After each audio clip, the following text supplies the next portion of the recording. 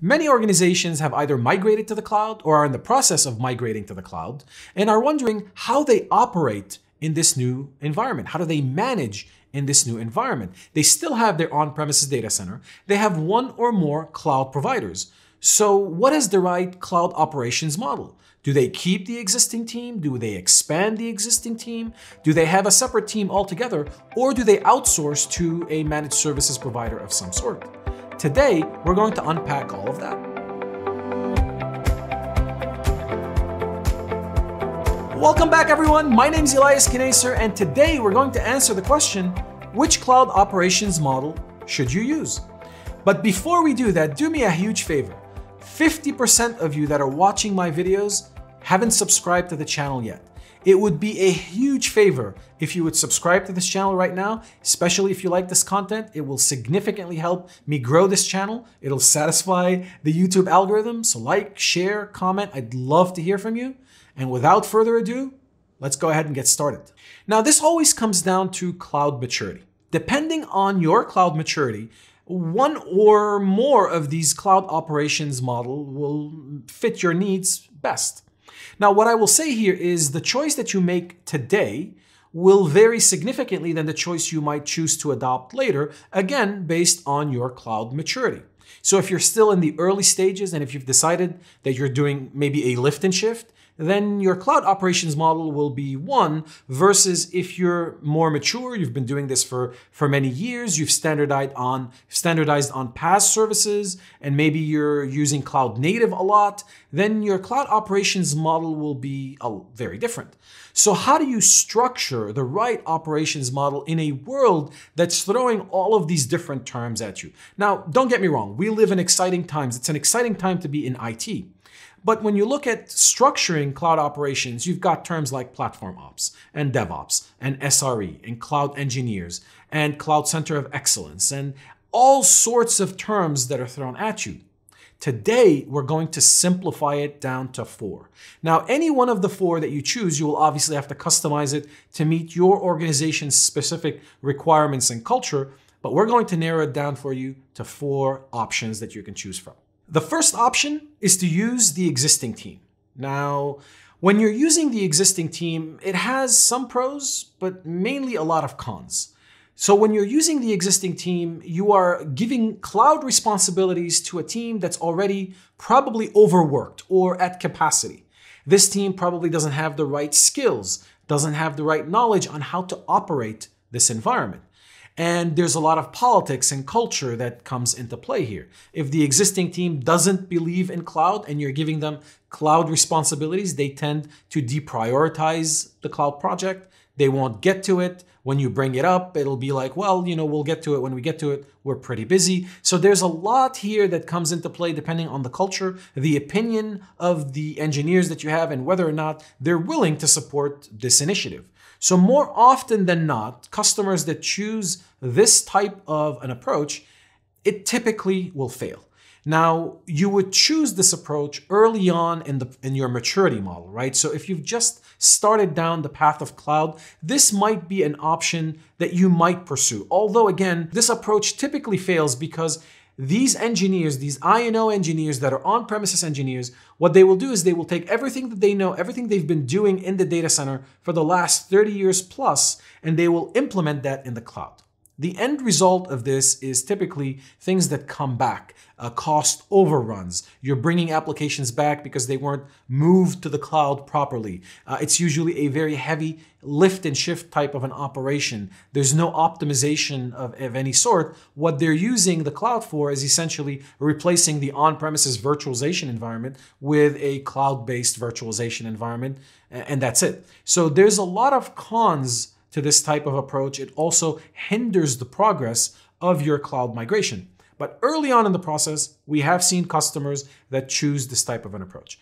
This type of approach is also the most cost effective or the most budget friendly because you're not hiring anyone new. You're essentially giving cloud responsibilities to the existing team. So if you go down this path, just keep in mind that there's a lot of things that will come into play. Factor those in as part of this or this part of this selection and have a plan on how you're going to evolve from this to something else.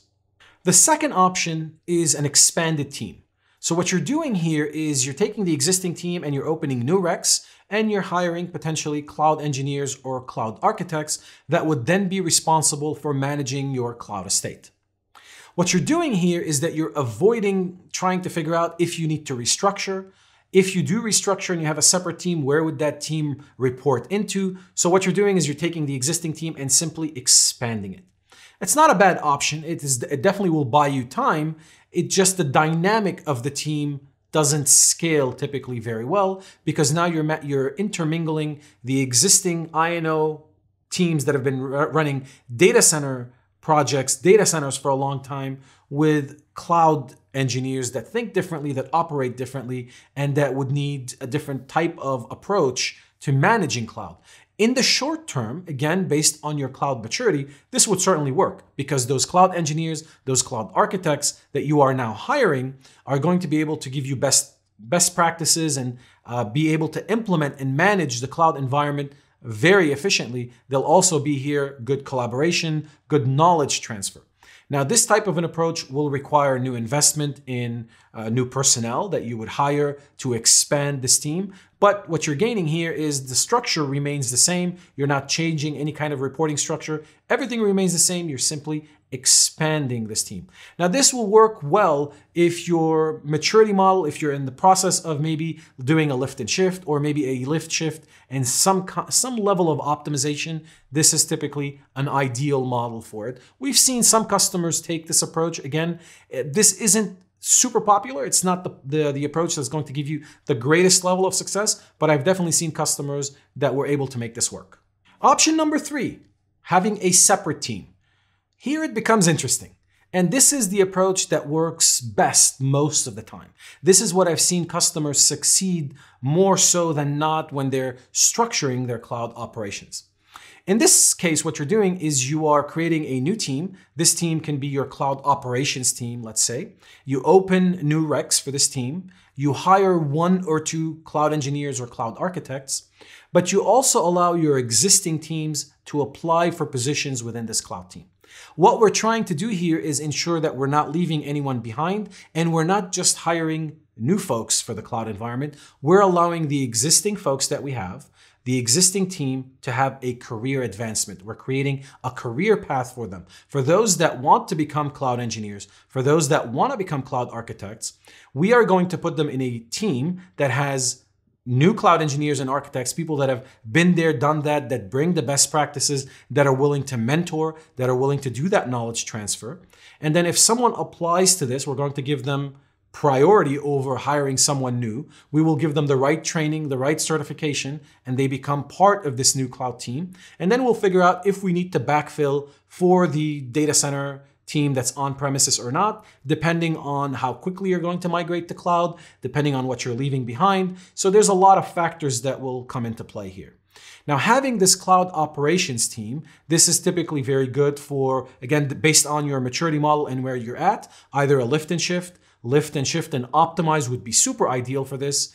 And here you can either have this team have a lot of DevOps type of influence, a DevOps mindset, or a very infrastructure focused mindset. Again, here you're going to have variations, and these variations will depend on your culture, on your cloud maturity, on the types of applications that you're migrating, on how you're going to interact with developers, if you even have developers in the mix uh, how much automation you're going to do, how much optimization you're going to do. All of that would factor into this cloud operations team. But customers that have taken this approach have been very successful with it. This is the approach that I would suggest. Now, this will require, again, uh, investment in cloud engineers and cloud architects, where you're augmenting the team with these resources that can bring the rest of them along on this cloud journey.